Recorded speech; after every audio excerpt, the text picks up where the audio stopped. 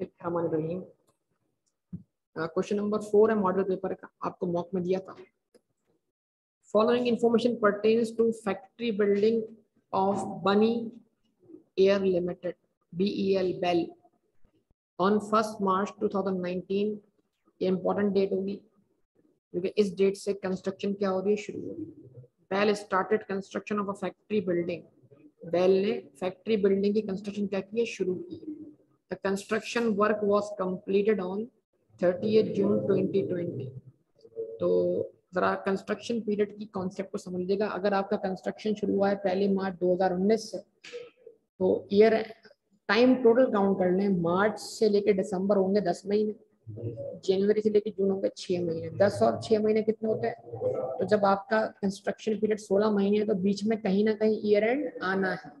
और year and तक आपको अपनी अकाउंटिंग रोकनी पड़ेगी ताकि वहाँ तक की रिपोर्टिंग हो सके।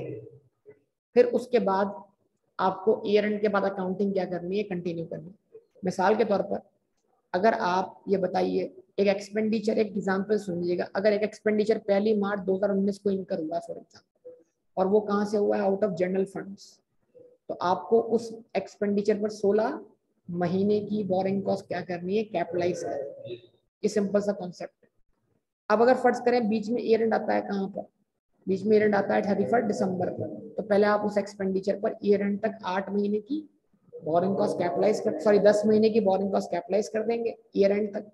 और फिर अगले अकाउंटिंग पीरियड में आप उस एक्सपेंडिचर को बैलेंस बीडी करेंगे ब्रॉड डाउन करेंगे। और उस अकाउंटिंग पीरियड में आप इसके ऊपर मजीद छह महीने की बोरिंग कॉस्ट क्या करेंगे? कैपिटलाइज करेंगे। क्योंकि जो एक्सपेंडिचर पहली मार्च को हुआ है अगर उसको सफ्ते ही पीरियड सोलह महीने का मिल रहा है तो उसके ऊपर पूरे सोलह महीने की ही बोरिंग कॉस्ट क्या होनी चाहिए कैपिटलाइज ये की पॉइंट है इस क्वेश्चन को सॉल्व करने के लिए On 1st March 2019, Bell started construction of the factory building. The construction work was completed on 30th June 2020. Payments related to the construction of the factory were as follows. First bill of contractor, पहली मार्च 2019 ठीक है जी, bill, contractor ने हमें bill दिया। कब bill दिया? पहला bill दे दिया फ़र्स्ट मार्च 2019 को कितने का? 100 बिल मिलते ही हमें ये एंट्री बनानी चाहिए।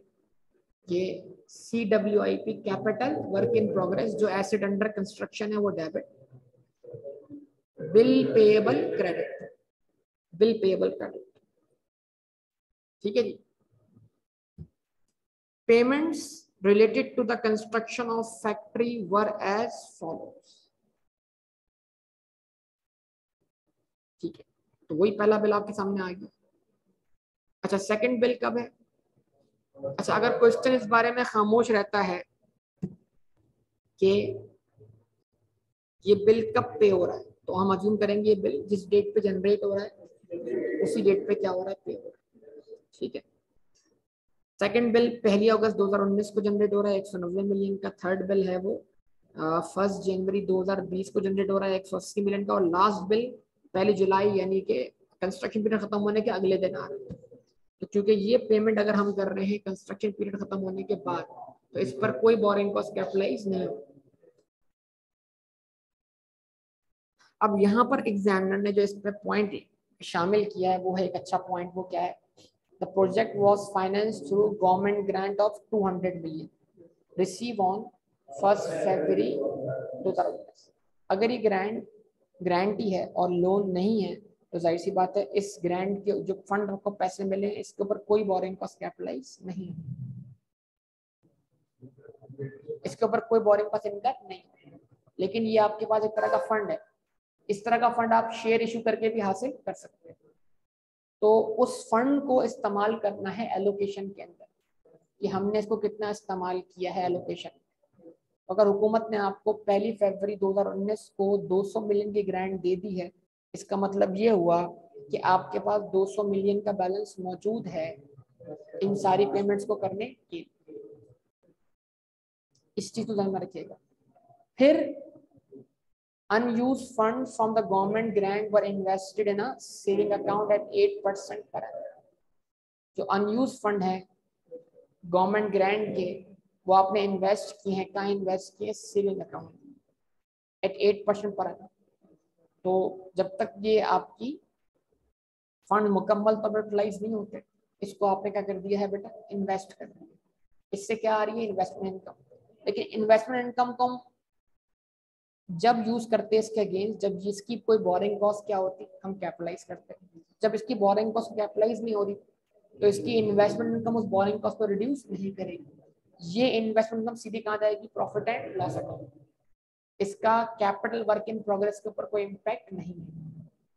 उसके बाद withdrawals from the following running finance facilities obtained from Bank A and Bank B.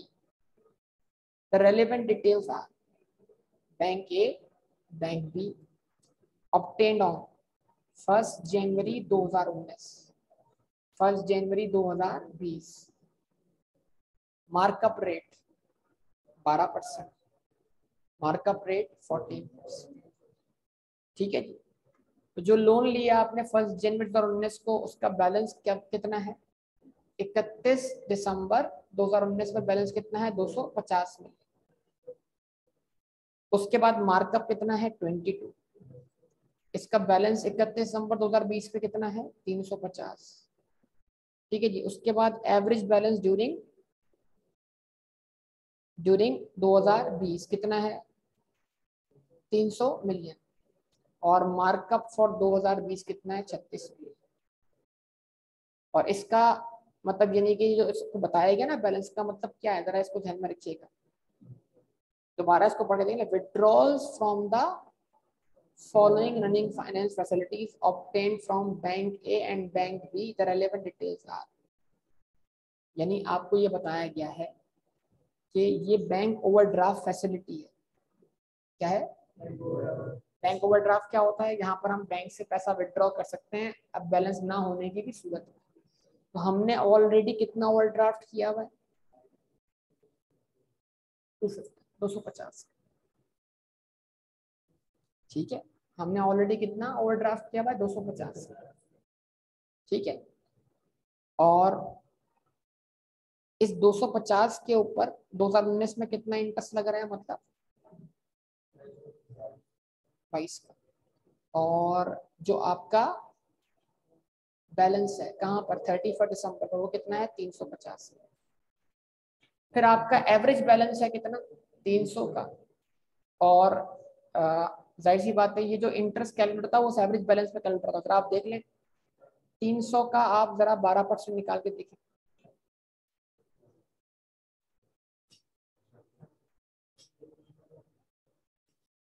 कितना है बेटा? छत्तीस।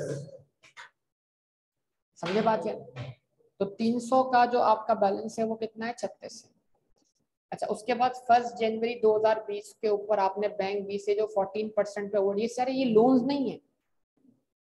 कि क्या ये लोन है? बताएँ, मैं आपसे पूछ रहा हूँ। ये overdraft facility first January 2019 12 percent ये ओवरड्राफ्ट का रेट ऑफ़ इंटरेस्ट अच्छा तो इसका हमारे पास क्लोजिंग बैलेंस कितना है? 200 लेकिन इसका एवरेज बैलेंस कितना है?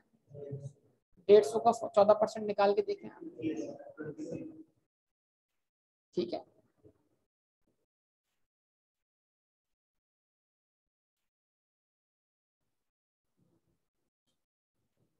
अब इसके अंदर सारा गेम जो है वो आपके लिए क्या है कि देखें, इसमें कोई स्पेसिफिक लोन नहीं। यानी स्पेसिफिक लोन के बदले एग्जामिनर ने आपको क्या दी गवर्नमेंट ग्रांट दे। गवर्नमेंट ग्रांट को आपने सिर्फ़ दिखाना है कहाँ पर allocation of fund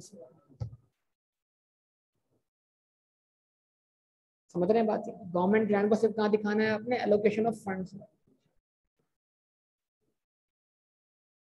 all government grants are recorded as deferred income and a part of its it is transfer to income each year useful life of factory building has been estimated at twenty five years ठीक है?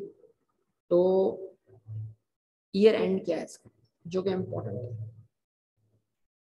Prepare relevant extract including comparative figures from B statement of profit और loss for the year ended December twenty twenty and statement of financial position as on that date यानी B L की SOFP और एसओसीए में क्या impact जाए ये मांगे यहाँ पर एग्ज़ाम में ठीक है जी? बोरोइंग कॉस्ट आपको नंबर ऑफ़ मंथ्स की बेस पे क्या करनी है कैलकुलेट करनी है। तो इसमें मेन चीज़ क्या हुआ? मेन चीज़ हो गया, इसके क्वेश्चन की दो इंपॉर्टेंट बातें वो क्या है? देखें, जो बच्चे मतलब इस क्वेश्चन को मतलब इस क्वेश्चन से डर रहे हैं, देखें, उनको तो एक बड़ी सिंपल सी एक बात बताऊँ बताऊँ तो देखिएगा। देखें ये साल एंड हुआ। कौन सा? ईयर एंड हमारा दिसंबर ही है ना तो दिसंबर 2019 को आपने जो बैलेंस है आपका ओवरड्राफ्ट का एक्चुअल वो दिखा देना है स्टेटमेंट ऑफ़ फाइनेंशियल पोजीशन क्योंकि आप जानते हैं एसएफ में तो बैलेंस सीडी आएगा। अब ये जो कॉन्सेप्ट है किस चीज़ का? एवरेज बैलेंस का, ये बड़ा आसान सा कॉन्सेप्ट है। आप जानते हैं कि आप ओवरड्राफ्ट कहाँ करते हैं? करंट अकाउंट में। तो करंट अकाउंट में कभी पैसे डिपॉजिट भी हो रहे हैं, कभी निकल भी रहे हैं तो ओवरड्राफ्ट बहुत ज़्यादा क्या हो रहा है? फ्लक्चुएट हो रहा है।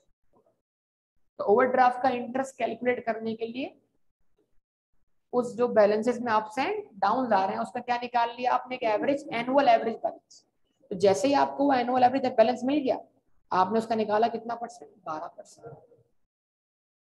तो आपको उसका ओवरड्राफ्ट के ऊपर बनने वाला एनुअल इंटरेस्ट मिलेगा तो एवरेज बैलेंस जो निकला है वो सिर्फ़ और सिर्फ़ इंटरेस्ट की कैलकुलेशन ही निकाला। और ये एवरेज बैलेंस कैलकुलेट करना आपके उस हिसाब किताब में नहीं आता। तो आपको डायरेक्ट एग्जामिनर ने एवरेज बैलेंस दिया है और इंटरेस्ट कैलकुलेट करके भी दे दिया। अब आपको ये तय करना है 2019 में इस 22 का कितना हिस्सा कैपिटलाइज होगा और कितना हिस्सा जाएगा एसोसिएट बस। और आपने ये तय करना है कि 2020 में 36 और 21 इन दोनों में से कितना हिस्सा कैपिटलाइज होगा और कितना हिस्सा जाएगा एसओसीआई इस तरह आपके एक्सट्रैक्ट बन जाएँगे। फिर आप अगर एस बनाना शुरू करें तो वहाँ पर आपको ये बैलेंस दिखाने दो हज़ार बीस में, बैंक ओवरड्राफ्ट। उधर ए और बी दिखाना, वहाँ पर आपको बैंक बैलेंस दिखाना। तो साढ़े तीन सौ और दो सौ क्या बैलेंस होगा? साढ़े पाँच सौ। साढ़े पाँच सौ को कहाँ दिखाना है? एसेट साइड पे लाइबिलिटी साइड पर ओवरड्राफ्ट बैलेंस है कहाँ दिखाना है? लाइबिलिटी साइड बाकी एक तो क्या आएगी आपके पास गवर्नमेंट ग्रांट का डेफर्ड बैलेंस आएगा फिर एसोसीआई में उसकी क्या आ जाएगी? अमोटाइजेशन आ जाएगी। ठीक है जी। ये सारे इम्पैक्ट आपके सामने आ रहे हैं। तो एक तरह से आप क्या कर लें, एक एक्सट्रैक्ट बना लें, ताकि आप मेंटली तौर पर अगर एस बनानी है तो इस क्वेश्चन से मुतालिक क्या क्या आइटम हमारे पास आ रहे हैं। कैपिटलाइज इंटरेस्ट करना है। बेटा जितना इंटरेस्ट बिलोंग करता है acquisition of a qualifying asset तो कैपिटलाइज होगा। बाकी इसके अलावा जो इंटरेस्ट उस एसेट को कंस्ट्रक्शन से बिलोंग नहीं करेगा, वो जाएगा प्रॉफिट एंड लॉस अकाउंट तो बिज़नेस का नाम क्या है इसके?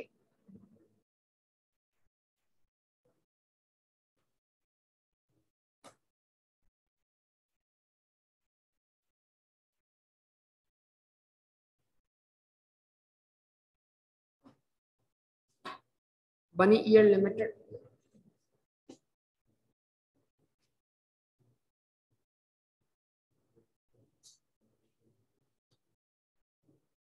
Statement of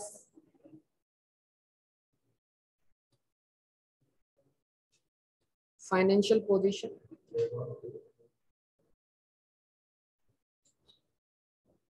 As on 31st December 2020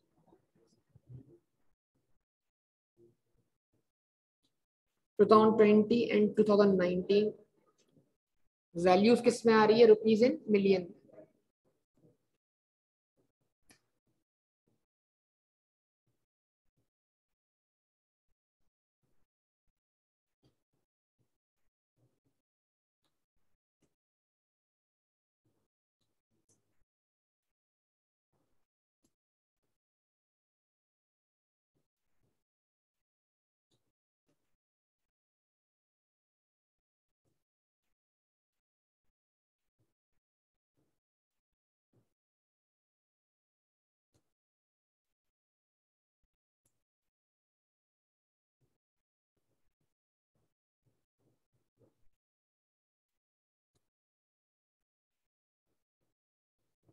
non-current assets.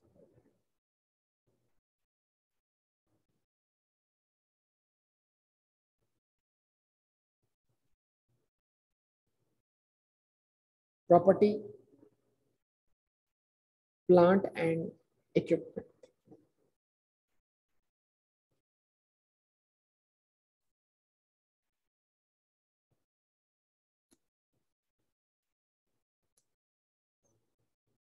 उसके बाद कोई करंट एसेट तो मेरे ख्याल से नहीं मौजूद हमारे पास। फिर इक्विटीज एंड लाइबिलिटीज पीपी में आएगा ना? है तो पीपी में।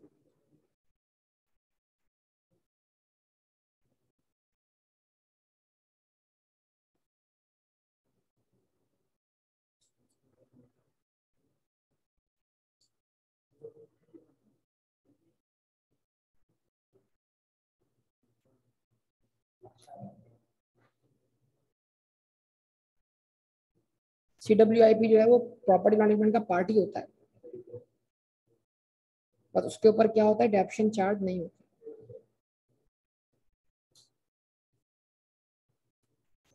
अच्छा कुछ जी? नहीं C W I capital work in progress ठीक है जी। अच्छा जी, उसके बाद आपके पास किसमें क्या आएँगे? Non current liabilities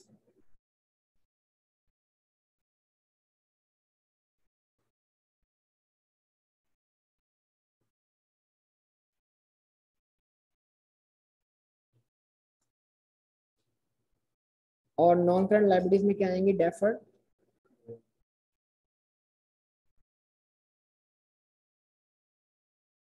government grant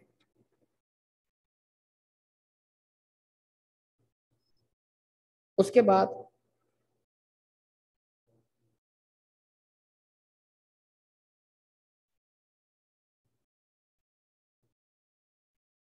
current liabilities में दो चीज़ आ सकती है। हाँ अगर इंटरेस्ट पेड नहीं हुआ तो इंटरेस्ट पेबल आ जाएगा।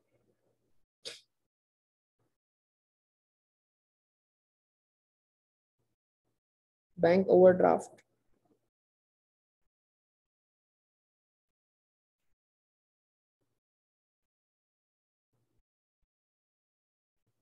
इंटरेस्ट पेबल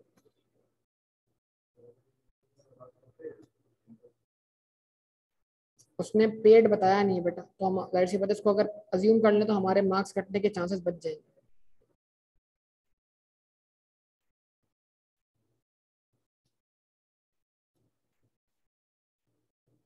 उसके बाद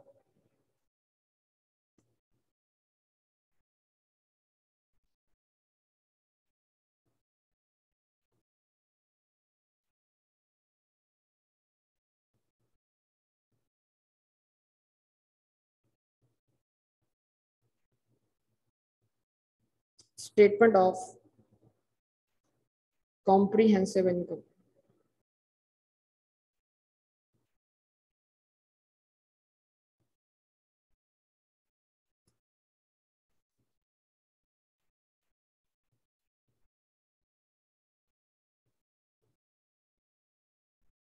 For the year ended 31 December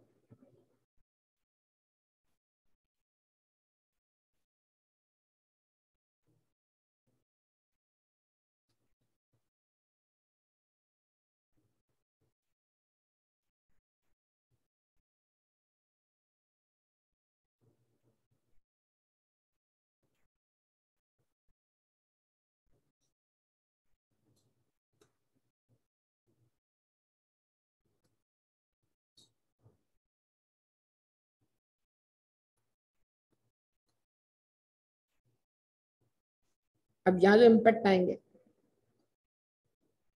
वो कौन कौन से जाएँगे?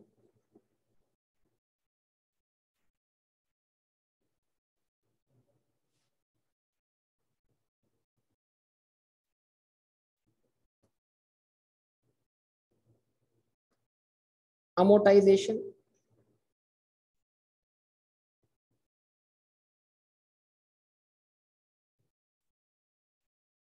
of government grant.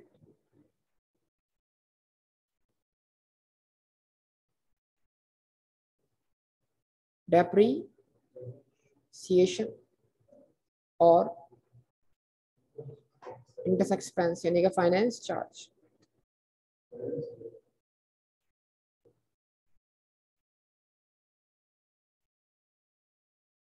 ठीक है जी. इन्वेस्टमेंट इनकम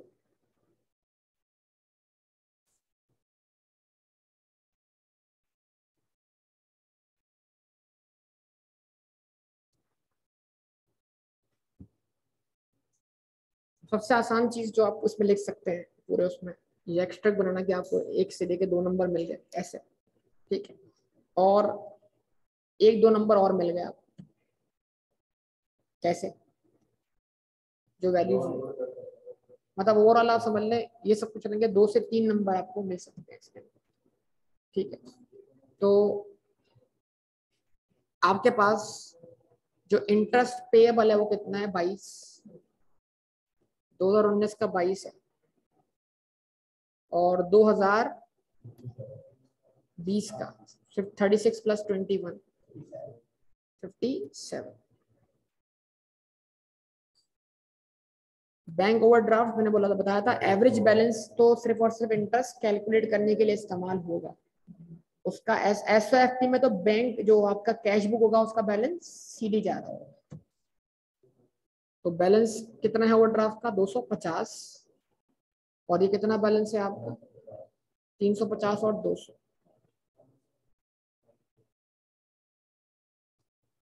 तो पहला बैलेंस क्या बताया था आपने? 250 और ये बैलेंस क्या आ गया?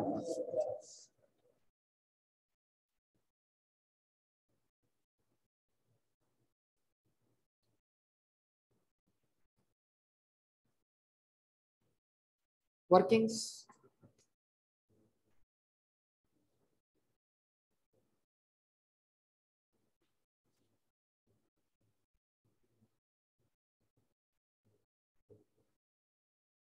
Working number one.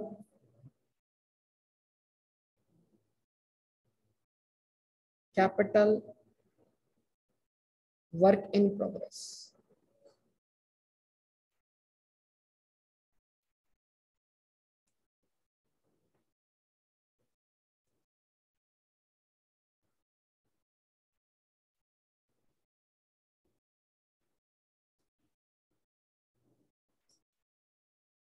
दो हज़ार बीस और दो हज़ार उन्नीस।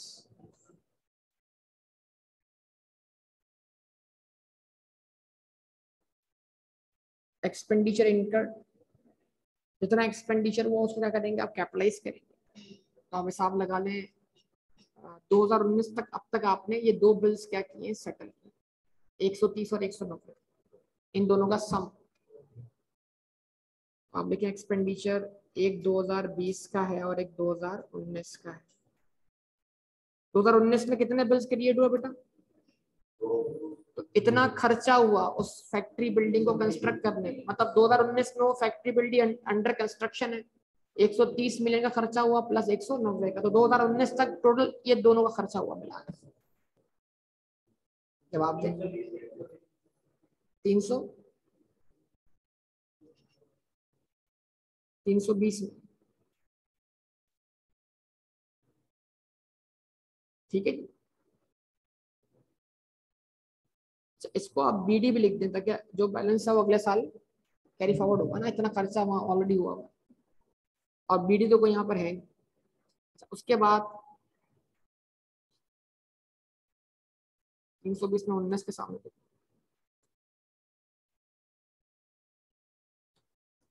तो ये टोटल जाएगा आपका तीन सौ बीस।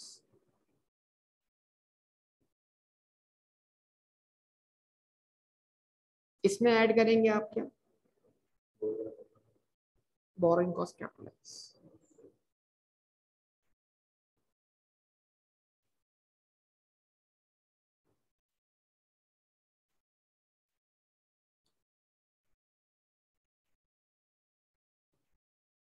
ठीक है जी? तो इसमें ऐड करेंगे आप borrowing cost capitalise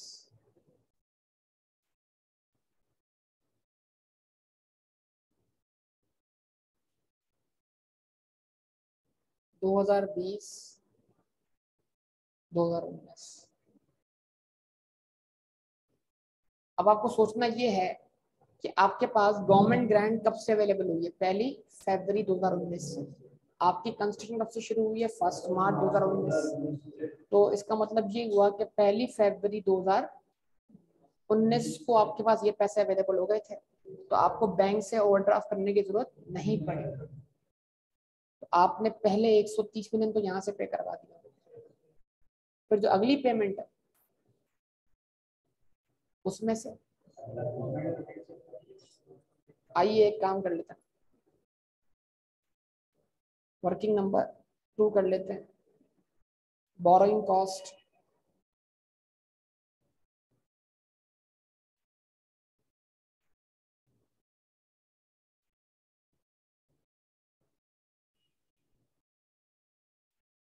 capitalize and allocation of funds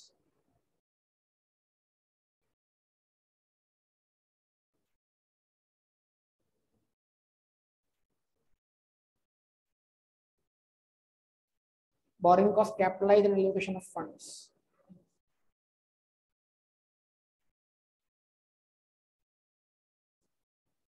ठीक है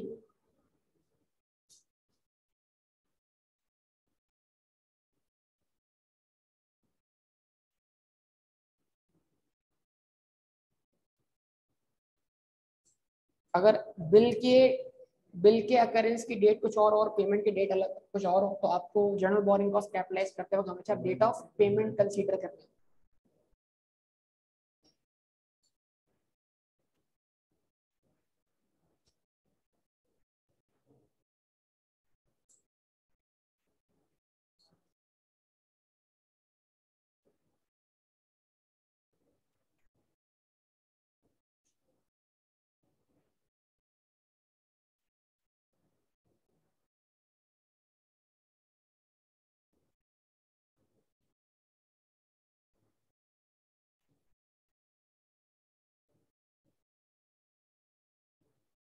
पहला एक्सपेंडिचर इनकर हो रहा है फ़र्स्ट मार्च अच्छा अब एक चीज़ और यहाँ पे करने की ज़रूरत है।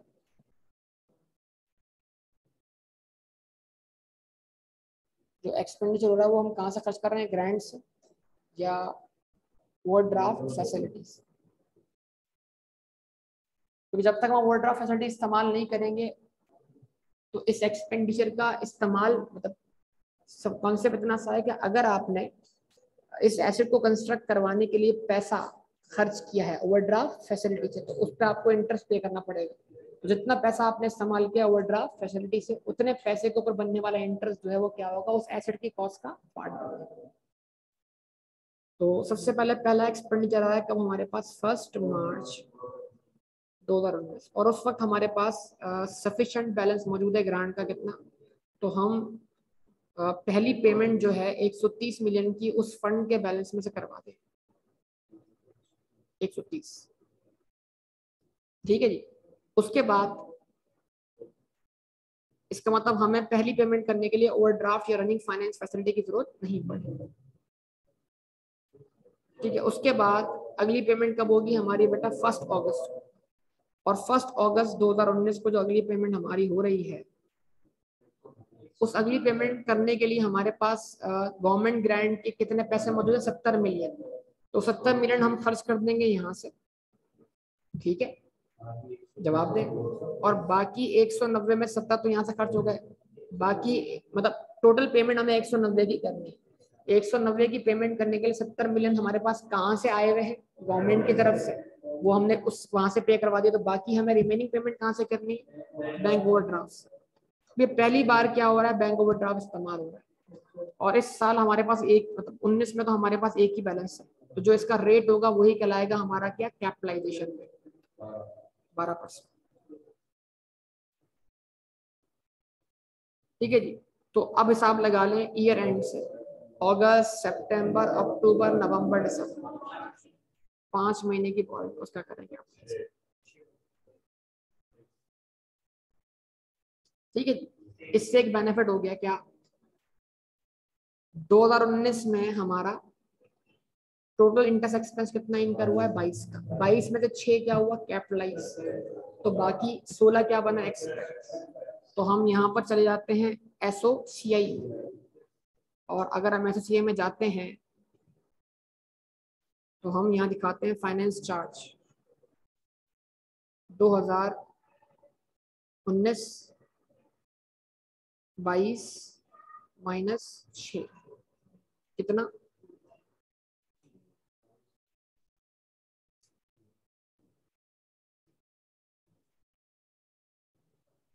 सिक्सटीन मैं एंट्रीज बना के सारे कॉन्सेप्ट भी रिकंसाइल कर दूँगा एट अगर आपको इसको डायरेक्ट समझने में डिफिकल्टी है, लेकिन पेपर में आपको सोचना पड़ेगा कि भाई अल्टीमेट इम्पैक्ट क्या पढ़ना है। अगर इस माइंड सेट के साथ नहीं करेंगे तो फिर बहुत टाइम टेकिंग हो जाएगा सवाल। दस नंबर दस नंबर नहीं, सौ नंबर बन जाएँगे फिर ठीक है? अच्छा उसके बाद अगर आगे बात करें मजीद तो ये तो आपका ये वाला साल क्या हो गया? मुकम्मल हो गया। यहाँ तक आपने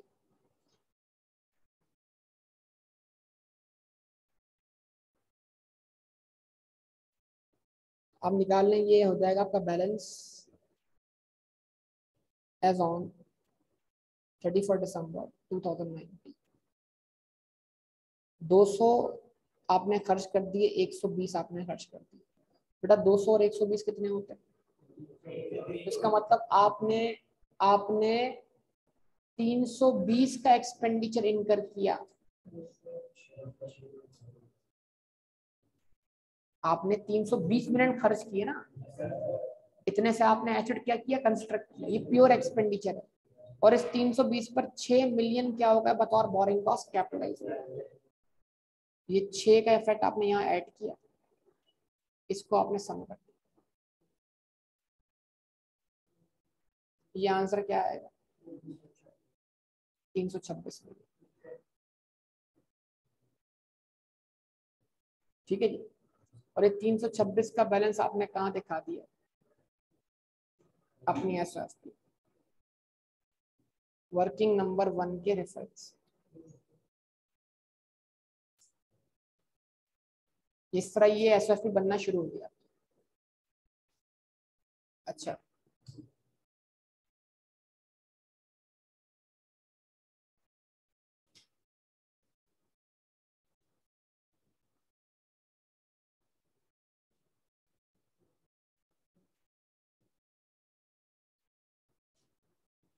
अब आपको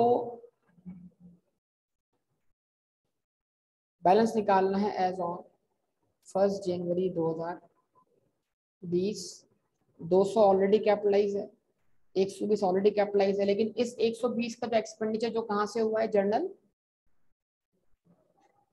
कहाँ से हुआ है जर्नल बोरोइंग्स इसके ऊपर मजीद छह महीने की बोरिंग कॉस्ट क्या होनी चाहिए? कैपिटलाइज होनी चाहिए।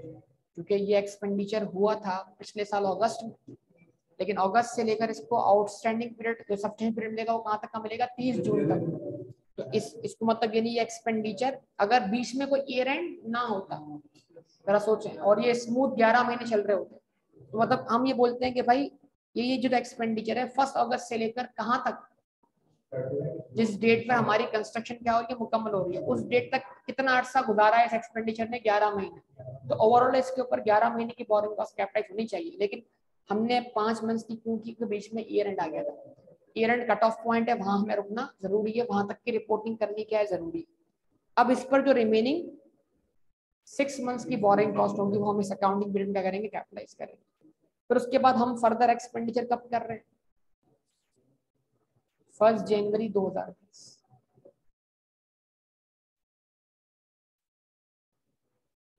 ठीक है जी? कितना कर रहे हैं? 180 मिलियन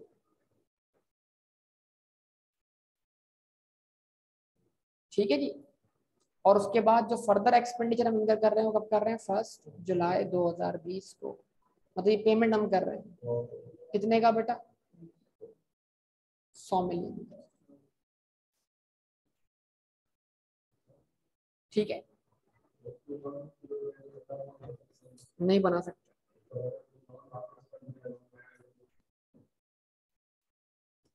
अभी ऐसी बातें जो है ना बिला वजह क्या करेंगे?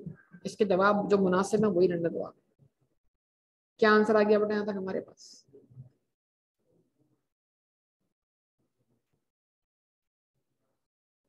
एक सौ बीस, एक सौ अस्सी और सौ।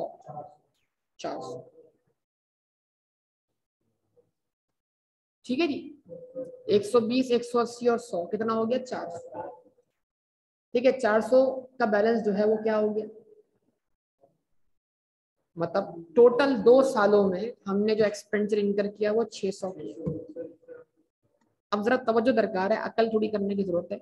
600 में से 320 तो हम कैपिटलाइज कर चुके हैं। और उस पर छह की बोरिंग कॉस्ट भी कैपिटलाइज कर चुके हैं। तो हमारा एक्सपेंडिचर का ओपनिंग बैलेंस क्या होगा? 326 326 में जो दो एक्सपेंडिचर मजीद हो रहे हैं, कौन से? इस साल वाले। कौन से दो एक्सपेंडिचर क्यों?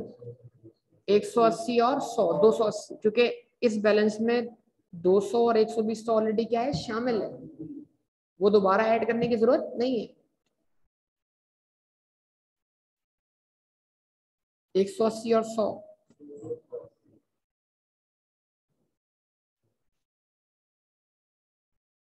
तो जब 280 इसमें ऐड होगा तो 320 और 280 600 हो जाएगा और 6 की पिछले साल की बोरिंग कॉस्ट कैपिटलाइज अब जो इफ़ेक्ट आना है वो इस साल की बोरिंग कॉस्ट का ठीक है जी? तो यहाँ तक का बैलेंस कितना हुआ बेटा? कितना? छह सौ छह। अब इसमें इस साल की बोरिंग कॉस्ट का इफ़ेक्ट आना ठीक है, उसके लिए अब आपको निकालना क्या है? कैपिटलाइजेशन रेट क्यों? क्योंकि इस साल आप जानते हैं कि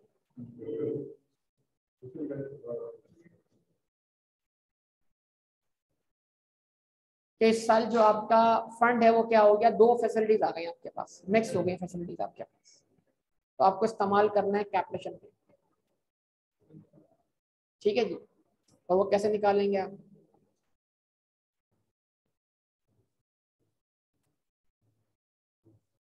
Thirty six plus twenty one divided by 300 plus 150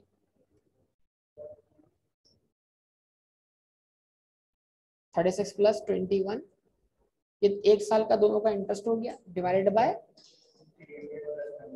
three hundred plus one fifty multiply by hundred कितना? ट्वेल्व पॉइंट सिक्स अच्छा अब तवज्जो सुन लीजिएगा। देखें, ये एग्जामिनर ने इस एग्ज़ाम में तो क्या कर दिया? आपको इंटरेस्ट कैलकुलेट करके दे दिया। कल के एग्ज़ाम में हो सकता है ये इंटरेस्ट हमें खुद से ही कैलकुलेट करना पड़े। ठीक है ना? तो आपको इंटरेस्ट कैलकुलेट करने के लिए कौन सा बैलेंस उठाना है? एवरेज इसका निकाला आपने बारह परसेंट यानी कि अगर ये आप खुद से कैलकुलेट करते क्या करते आप लेते तीन सौ multiplied by point one two plus आप लेते डेढ़ सौ multiplied by point one four तो आपको दोनों का इंटरेस्ट मिल जाता। ठीक है बेटा? और डिवाइड आप किससे करते तीन सौ प्लस डेढ़ सौ।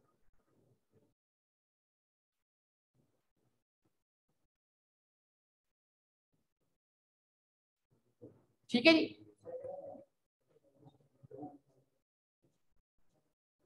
सब्सटेंशियल पीरियड के हिसाब से ठीक है, लेकिन वो मैंने कहा ना, आपको मैंने, आपको शॉर्टकट भी फॉर्म होता है। एवरेज बैलेंस का मतलब ये है कि मैंने अभी बताया कि बैंक ओवरड्राफ्ट किससे बिलोंग करता है? करंट अकाउंट से।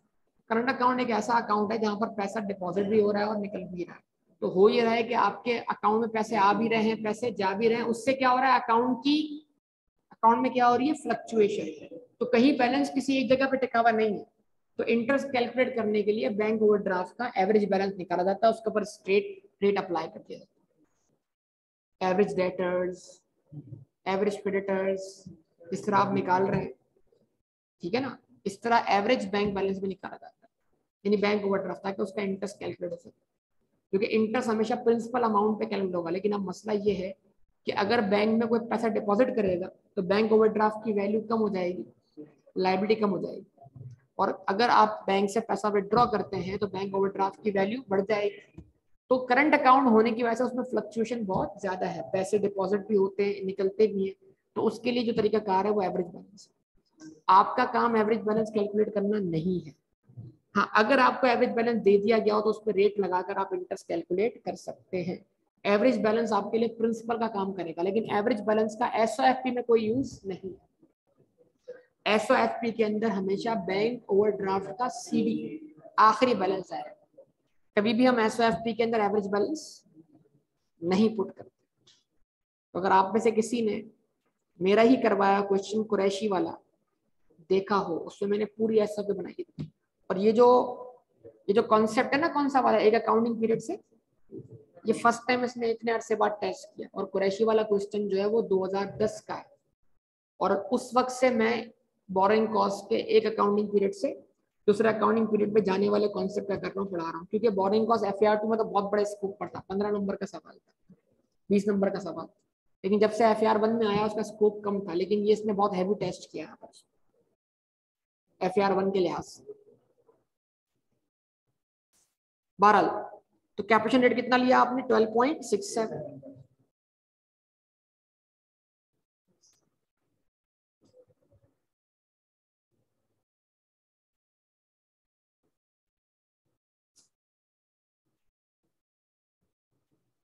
इस पर मजीद कितने मंथ का इंटरेस्ट लगेगा? छह महीने का। इस पर लगेगा बेटा कितने मंथ का? ये भी जनवरी 2020 पे इंकर हुआ है। छह महीने का। लेकिन इस इस पेमेंट को कोई सब्सटेंशियल पीरियड नहीं मिला। Zero divide by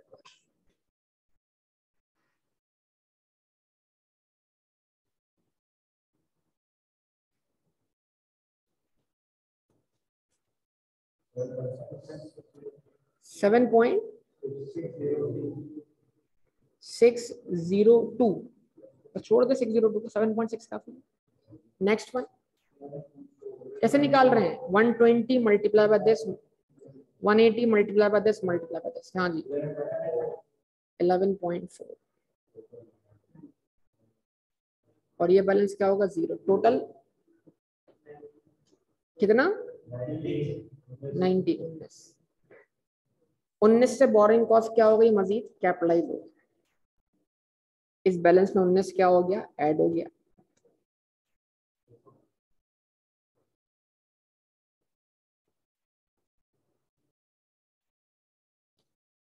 ठीक है जी? अब ये 625 जो है वो क्या होगा? ट्रांसफ़र होगा कहाँ पर?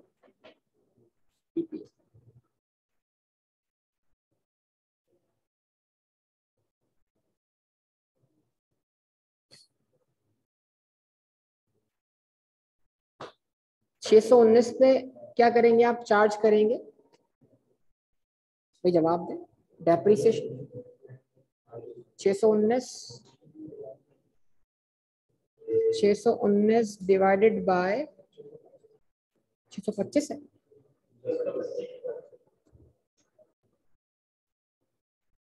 ना तुम लोग क्या कर रहे हो?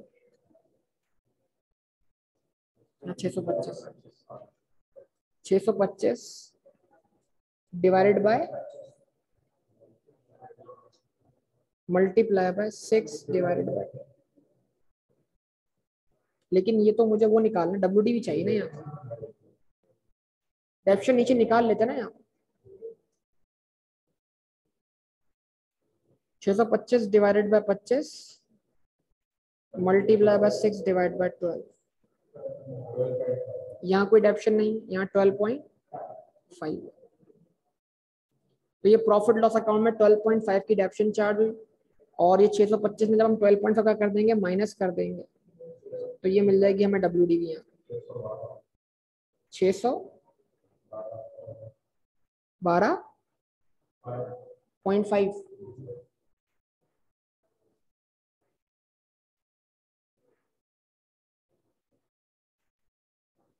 गवर्नमेंट ग्रांट कितने से मिली थी हमें?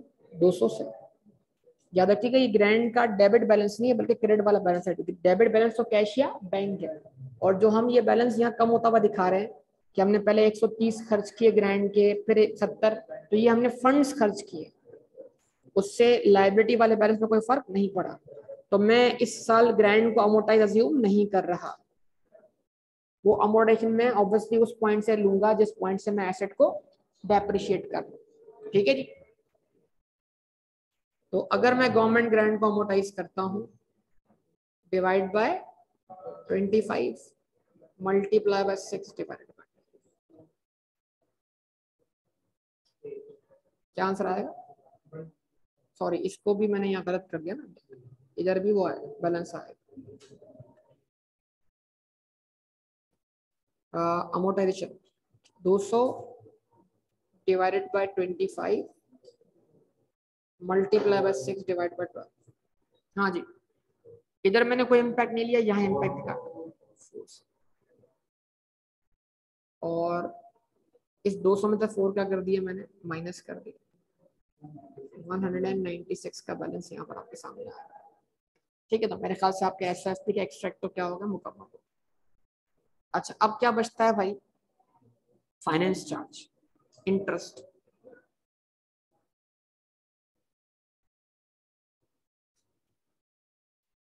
अच्छा अब अब तो दरकार होगी आप सबकी। देख लो यार, जवाब दे तो भाई है मेरे पानी। आपका 2020 का टोटल इंटरेस्ट बनता है छत्तीस और इक्कीस। कितना होता है? अब दरकार आपने लिखा 2020 छत्तीस और 21 प्लस किया। कि टोटल एक्सपेंस इसमें से आपने जितना कैपिटलाइज किया ना इस साल, कितना कैपिटलाइज किया? 19 तो टोटल इंटरेस्ट में से 19 तो कैपिटलाइज हो गया। बाकी कहाँ गया? प्रॉफिट ऑफ़ लॉस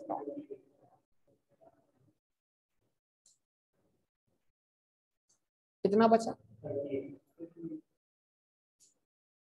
अब आपका एक आइटम रह गया, उसका नाम क्या है? इन्वेस्टमेंट वो बड़ा आसान है, अगर आप चाहें तो निकाल सकते हैं। वो सिर्फ़ 2019 में आएगा 20 में नहीं आएगा। क्योंकि आपका जो ग्रैंड का पैसा है, वो सारा का सारा खर्च हो चुका है 2019 में ही। 2019 में हमारे पास 200 मिलियन की ग्रैंड अवेलेबल थी फेब्रवरी वन को। ये 200 मिलियन हमने इन्वेस्ट किए होंगे पूरे एक महीने के लिए, क्योंकि हमने इस पैसे को खर्च करना है फिर पहली मार्च को। तो हम 200 मिलियन को मल्टीप्लाई करेंगे पॉइंट ज़ीरो एट से। आठ परसेंट है ना rate point zero eight multiply by one divide by twelve ठीक है जी? ये आ जाएगा एक महीने का इंटरेस्ट इनकम प्लस प्लस 200 में से हमने 130 खर्च कर दिए। कितने बचे? 70 70 इन्वेस्ट रहे फिर अगस्त तक। मार्च, अप्रैल, मई, जून, जुलाई और पहली अगस्त को मेरे ख्याल से पेमेंट है तो पाँच महीने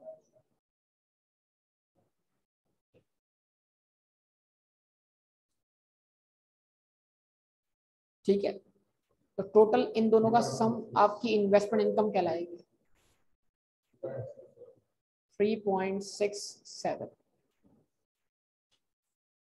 ठीक है तो ये फाइनेंस चार्ज लेस हो गए सारे इम्पैक्ट आ गए एक्स्ट्रा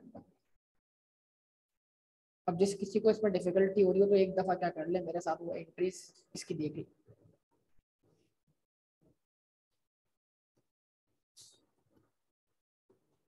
सबसे पहले आगाज़ करते हैं हम एंट्रीज बनाने। का अगर क्वेश्चन आप सबने रीड किया हुआ तो कोई मुश्किल बात नहीं एंट्रीज बना। स्टार्ट लें पहली फरवरी 2019 से हमारा आगाज़ होता है। हमने क्या रिसीव किया? गवर्नमेंट ग्रांट तो एंट्री क्या बनी government grant bank debit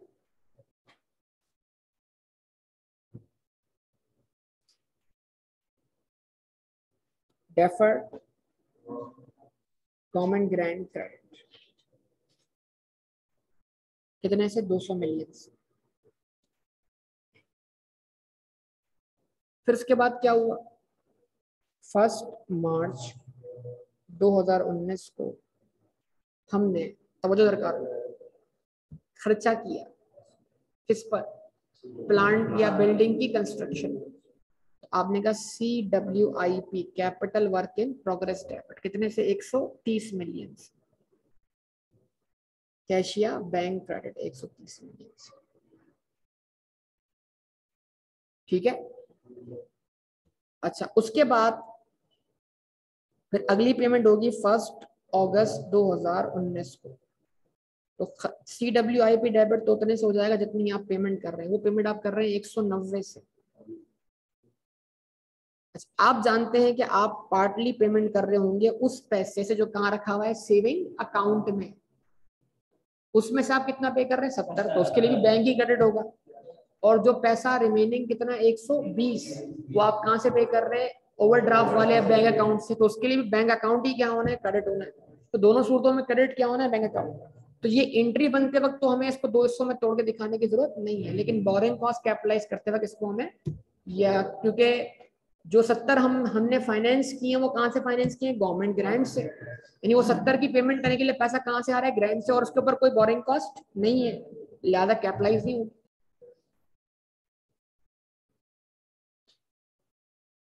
ठीक है जी, यहाँ तक ये सारी कहानी आपके सामने बन गई। अब ईयर एंड तक की कहानी। ईयर एंड तक की कहानी। वो क्या है? आप रुके थर्टी फ़र्स्ट दिसंबर दो हज़ार उन्नीस आपने एडजस्टमेंट पास किया। As per question as per question thirty first December पर कितना इंटरेस्ट ड्यू हुआ? बाईस आपने एक एंट्री पास की। आपने कहा इंटरेस्ट पेएबल क्रेडिट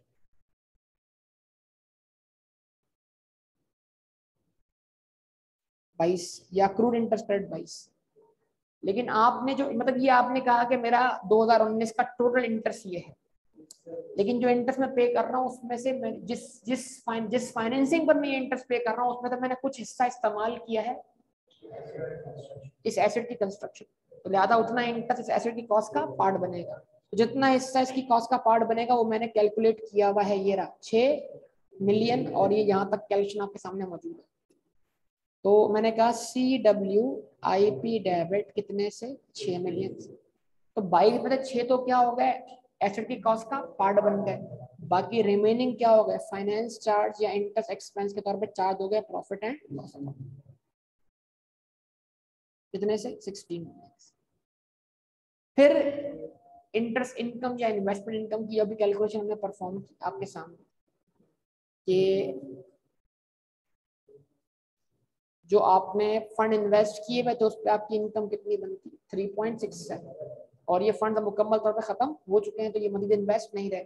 तो अगर आप चाहें तो उसकी एंट्री दिखा सकते हैं। ड्यूरिंग द ईयर बनी हुई entry cassia bank debit investment income credit और अगर आप इसको भी अप्रूवल मानते हैं तो फिर आपको इसको एस में इंटरेस्ट रिसीवेबल के तौर पर दिखाना चाहिए। ठीक है जी?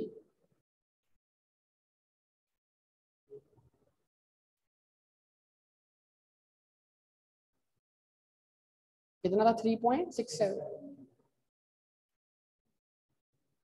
ये आपकी एक साल की अकाउंटिंग सारी इफ़ेक्ट आ गए।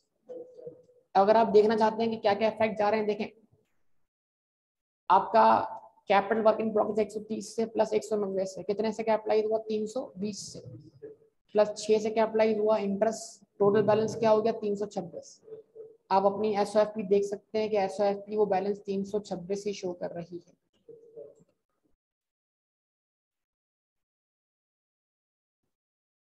ठीक है जी?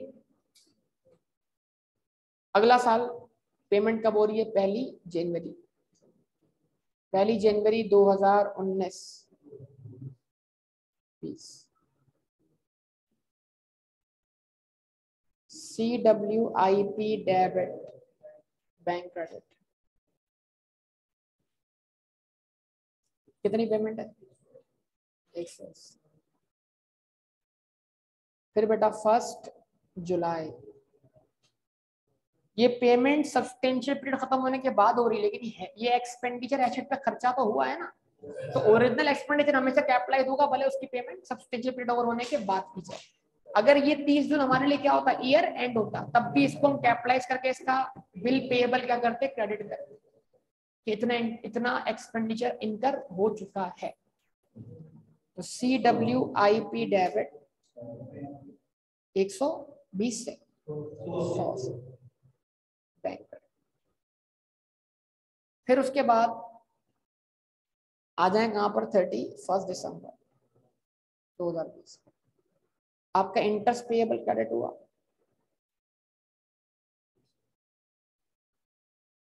ओवरड्राफ्ट ए पर आपका इंटरेस्ट ड्यू हुआ 36 से, ओवरड्राफ्ट बी पर आपका ड्यू हुआ 21 से। कुल मिला के इंटरेस्ट पेबल कितना हुआ आपका? 57 से 57 में से आपने कुछ इंटरेस्ट क्या कर दिया? कैपिटलाइज कर दिया। जिसकी वर्किंग आपने की हुई है। 19 का इंटरेस्ट आपने कैपिटलाइज किया है। आपने कहा 19 57 से 19 बिलोंग करता है इस क्वालिफाइंग एसेट कंस्ट्रक्शन से। बाकी आप चार्ज करेंगे profit and loss account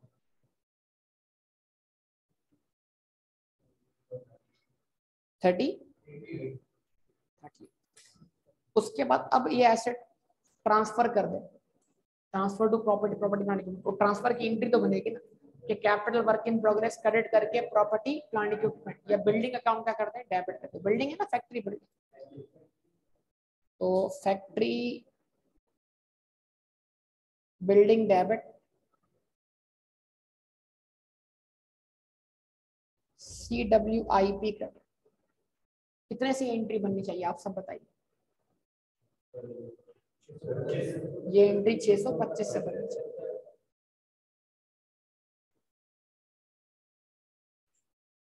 और ये ट्रांसफ़र कैश फ्लो के अंदर भी मैंने एंट्री की तरफ़ करवाया था आपको, अगर याद हो तो। Depreciation expense debit accumulated depreciation credit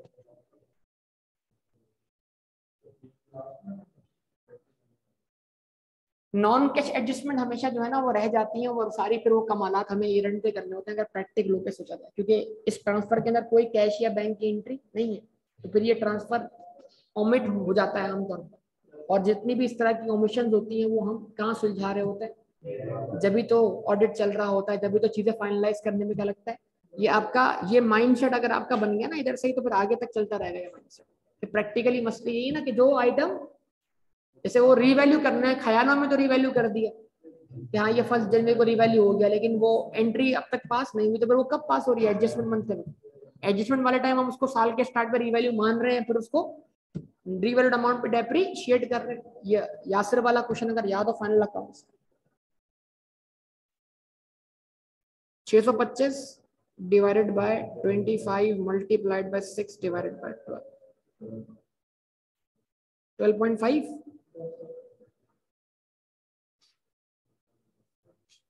फिर उसके बाद गवर्नमेंट ग्रांट की amortization deferred government grant debit ठीक है जी ग्रांड इनकम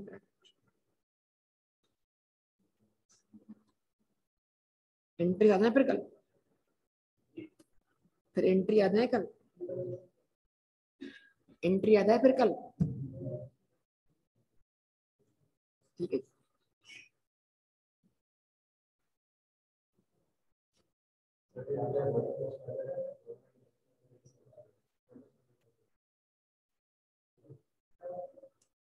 कितना था इसका फोर। हाँ बेटा, मसला हल हो गया है सवाल का। क्या मसला?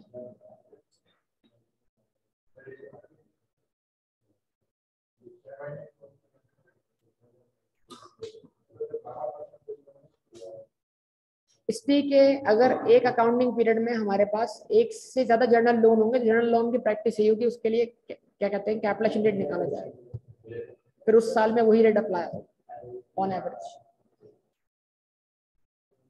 क्योंकि आप उस, हो सकता है कि आपने second payment bank loan A से की हो। तो कहीं ना कहीं तो इफ़ेक्ट कंपनसेट होना ही है ना। तो इसलिए क्या करेंगे आप? कंसिस्टेंसी का तकादा ये है कि आप एक ही रेट इस्तेमाल करें।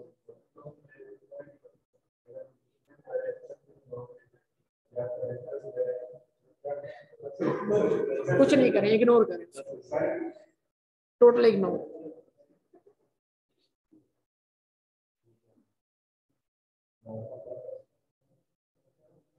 जी बेटा, मैं एपीएस भी करवाऊँगा, फ़िक्र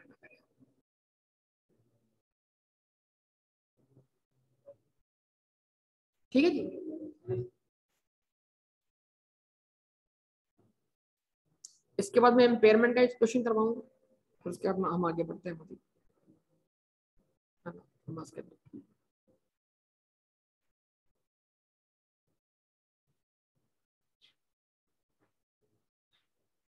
एमसीक्यूज की कोई वर्किंग करनी हो तो बिल्कुल आप अपनी एग्जामिनेशन कॉपी के ऊपर वर्किंग लिख के कर सकते हैं। वर्किंग फॉर एमसीक्यू मसला थोड़ी है किसके आई एस एट की भी कुछ प्रैक्टिस करवा दें। अभी हमने आई एस एट तो स्टार्ट किया था बेटा जो भी मैं समझ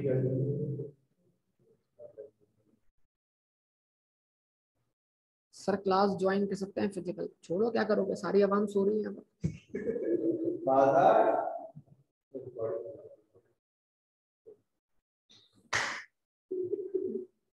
आ जाओ आ जाओ बेटा आना चाहो तो आ सकते हो।